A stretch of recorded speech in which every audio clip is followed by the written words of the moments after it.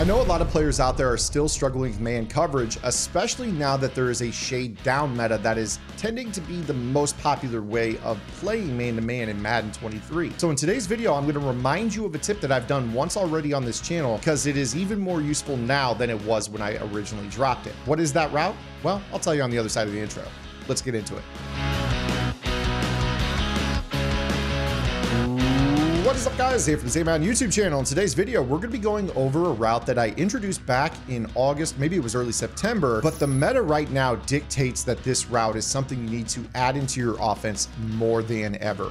As you guys have noticed, I'm sure, there is a shade down man coverage meta out there right now. A lot of players are shading down, shading inside or outside on top of that and kind of uh, leaving their DBs on an island. And due to the lack of time to really get a lot of routes open deep, like posts and some of the routes that we've become accustomed to, like crossers getting wide open across the field four or five seconds into a play, the pass rush prevents that this year. So you have to look for alternative options. And that route is going to be the smart route of fade stop. Now, this route is something that I've been a big fan of for many years now. You guys have been a member of my strategy website, gridirongameplans.gg. You know this very well. If you guys have been on the YouTube channel, you've seen me break it down as well against zone. This year, we're going to be using the smart route of fade stop against man-to-man. -man. Now, before I get into this tip, could you guys do me a quick favor? Make sure you guys hit that follow button. Subscribe to the channel if you haven't already. It's absolutely free.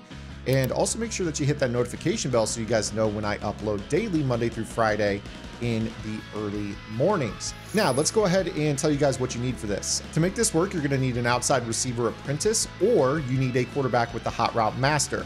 Now, what I would also recommend with this is some sort of route ability, whether it be a route tech or a short out elite, to help this route fire on the acceleration up the field. I know that that is a little bit sketchy because a lot of players don't run short out elite or route tech, but I'm telling you, it's going to make this tip much, much better for you. Now, the route ability isn't 100% mandatory, although I do think it adds consistency to the tip. You guys can actually get a solid release with a player that doesn't have a route ability as well, but I think you're gonna really be impressed with this tip by looking at the way Davante Adams does this against Tre'Davious White. Uh, so let's go ahead and show you guys what to do here. So what we're going to do here is we're going to run a defense that is pressed, shaded down, maybe shaded inside as well. A lot of players love to do that. And you're going to take your outside receiver apprentice and you're going to notice that the extra routes are post corner, corner, post, and fade stop. A lot of you probably already use a hot route master for the purpose of a C route right here. This is just another tip that's gonna help you guys out, I promise you. So you're gonna use the fade stop. And this is gonna be really, really good uh, because you're going to then smart route it from 10 to 20 yards. And more often than not, this is gonna get an elite break down the sideline.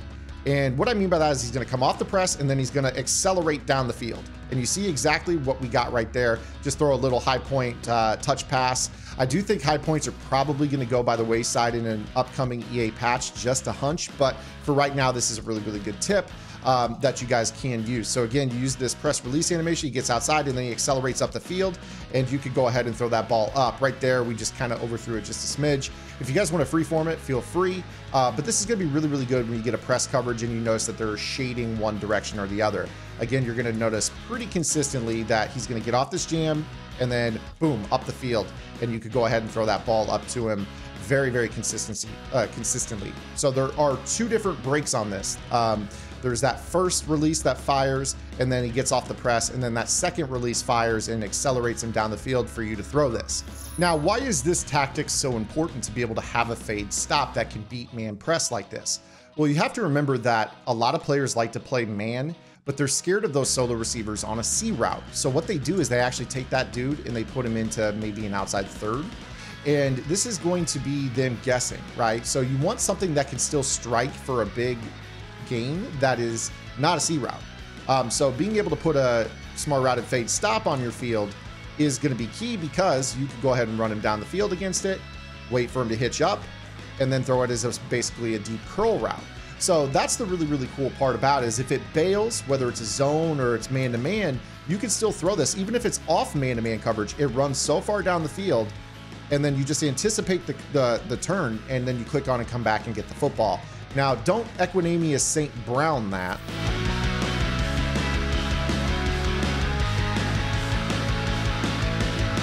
But you are going to want to make sure that you click on and come back to the football. Also important with this particular type of throw, probably would recommend that you guys have a velocity ability.